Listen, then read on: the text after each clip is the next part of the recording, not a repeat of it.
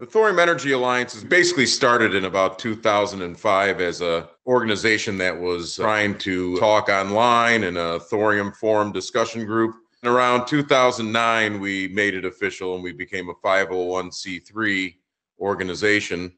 There's a lot of companies like Thorcon and Copenhagen Atomics and others that are developing the uh, uses for thorium as a fuel. So at Thorium Energy Alliance, we've been not only looking at fuel applications for thorium, but we've also been looking at reviving some of the old material uses like alloys, medicines, things like that. We help decision makers and staff in DC understand the issues about molten salt reactors, and some of the other options out there uh, for using uh, fuels for these molten salt reactors. They are uh, very flexible, as we know that the uh, molten salt reactor experiment ran on U-235, U-233, and apparently yesterday I heard that the last uh, fuel load was U-239, which is surprising, but uh, somebody can confirm that. Uh, one of the things that came out of our discussions with uh, folks in uh, DC and around the country is that in the uh, energy bill last year, we did get this paragraph that you see here that Congress would like a report fuels besides uranium. And uh, as the example, it was uh, thorium 232 and uh, uranium 233. We actually took them at their word and contacted the DOE once that actually became law and said, hey, uh, you know, we're pretty interested as interested parties get. How about we give you a little bit of information about this? And so it was a very good opportunity to get to uh, talk with uh, several folks at the DOE, and there should it's a much delayed report, but I guess they all are. Uh, but it should be much more broad based than the original uh, thought of the report to Congress. So I'm happy for it to take a little while to review, as long as when it comes out, it uh, maintains the uh, optimistic uh, uses for thorium and uh, uranium 233 for not just fuel, but other materials. So we're looking forward to that. If you're wondering what materials there are, you can make super alloys like MagThor, Thorchrome, and Alumathor. They were uh, used in Gemini spacecraft and all the fighters until the mid 90s. Uh, I was surprised at how long they were still making this material big in the news lately is cancer treatments from milking thorium. That was a big Oak Ridge project that uh, came into fruition.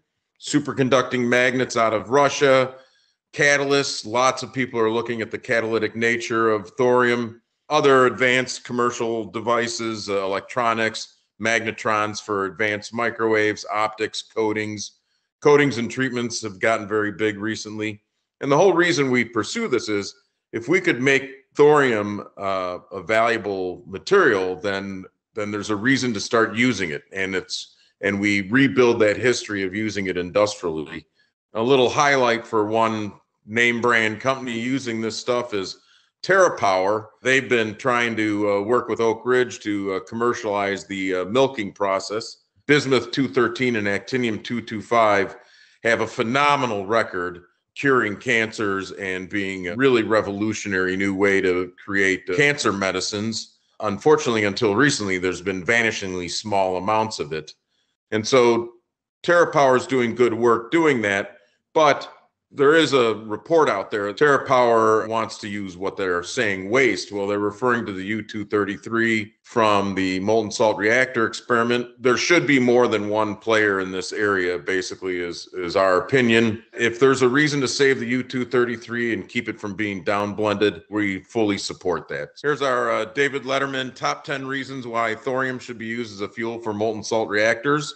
So we're not just talking about material use, but fuel use. One, thorium diversifies the fuel supply, and especially for countries like China, India, and Indonesia that have extensive thorium resources and limited uranium. This is the number one reason that I was given by folks in India and China and uh, Indonesia. And there's a lot of uh, activity in those countries uh, regarding thorium.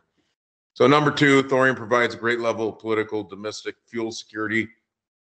There's shipping containers for thorium. There's uh, nothing exotic about it, and it's not new.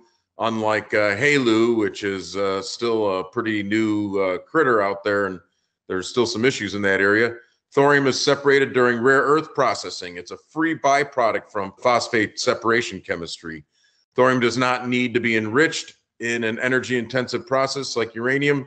Thorium is easily handled as a material. It is uh, not nearly as hazardous as some of the other materials that we could be talking about.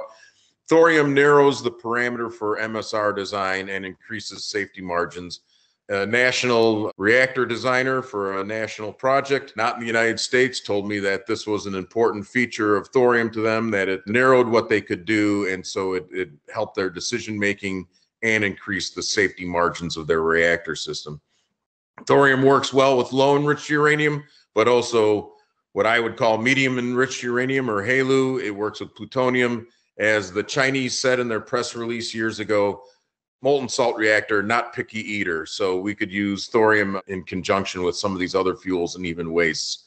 And in an MSR, thorium can be added to the fuel salt over time to help manage the fuel behavior. One thing that uh, we always like to point out is that thorium uh, is uh, has natural proliferation resistance. Uh, thorium itself is not going to be turned into a bomb. So if you have thorium sitting around, no one's going to try and steal it there's a lot of equivocating where thorium gets converted into uranium, but then it's not thorium, is it? So thorium itself is highly proliferation resistant.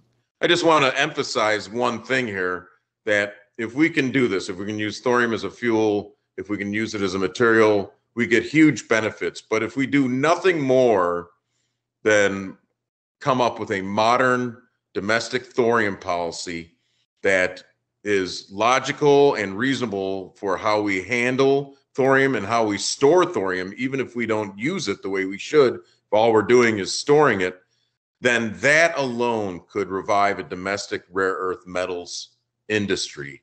And that is huge. If you like renewables, every windmill uses a thousand pounds of neodymium. All these flat screens that you're looking at need rare earths, all your cell phones, the starter motors in your car. And if we want a high tech future made with materials domestically in the United States or even somewhere in the, the West, we need to be better at handling thorium and we need a better policy for what we do with thorium. It is the actinide issue is the number one reason why we don't have a rare earth supply chain in the Western world.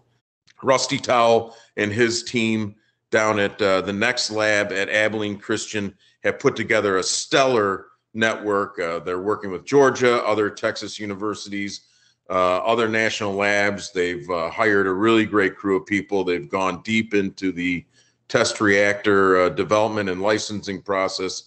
I look forward to today when they make some big announcements. We all should keep our eye on Abilene Christian as a uh, domestic experiment to revive the molten salt reactor project. It should go a great way towards helping our domestic cause in getting this reactor system commercialized. Concurrent with that, there is this company called Clean Core Thorium Energy. Uh, they actually are based out here in Chicago. They have developed a thorium HALEU fuel for use in CANDU reactors. I mention it because it is thorium. I also mention it because it is very near term. It's something that could be brought into production very soon. And it is yet one more example of somebody building the supply chain that needs to be put in place. If they get a thorium oxide supply chain started, that could only go to serve molten salt reactor designers. One thing we have to keep in mind, I haven't seen spoken about much during the last couple of days of this wonderful conference, is that we need the DOEs. So the DOE participants in this call the 278 plus people on this call. We all need to come up with a good policy for developing the molten salt reactor, for developing thorium. Thorium, in particular, is being utilized by China very successfully. India is utilizing it very successfully. Other countries are are very actively looking to develop a thorium fuel supply chain. If the United States can't devote resources to developing a thorium fuel supply chain, then the rest of the world is going to turn the tables on us and they will tell us how we have to develop our fuel supply, how we have to utilize thorium. And we need to be in the game. we need to work together internationally so that we're all doing things the right way, the most efficient way, economic way for a future of prosperity. We can do it, and uh, I'm optimistic that we can we can do it. You know, it's not a, a matter of taking the lead, but we have to have a seat at the table. So hopefully we can all work together to to get in the, the thorium fuel game. So with that, I want to thank you for your time. Thanks for listening to this from the Thorium Energy Alliance. If there's any questions, I still have a minute or two before I get the the shepherd hook from Dr. Holcomb. From James Wishart, for thorium-based MSRs, is a salt fluoride or chloride, or could it be both? It could be both. Elysium is doing a thorium chloride reactor. I know TerraPower has looked at thorium as uh, an option in their fuel mix. I'm not sure where TerraPower is with that at the moment. And obviously, fluoride is a huge option because that is the original uh, salt mixture with Flibe and FLiNaK and a few other options that are out there. A guest named Arvind said DOE thorium policy does not support R&D as per recent response. And uh, I just want to, you know, clarify that there are there have been some policy statements and uh, positions where it is difficult to get funding for uh, thorium based uh, projects. So that's what i was hinting at is that if we could be more liberal with our ability to do research into thorium i think everyone would benefit. Can a person who's not a nuclear engineer join the Thorium Energy Alliance? absolutely. We are agnostic as to how uh, your background is, whether you're a super enthusiast or a very advanced PhD working at a lab. We have everything from excellent researchers, folks like Syd Ball, who helped run the MSRE, all the way down to students that we support who uh, just want to help try and build a, a thorium uh, fuel future.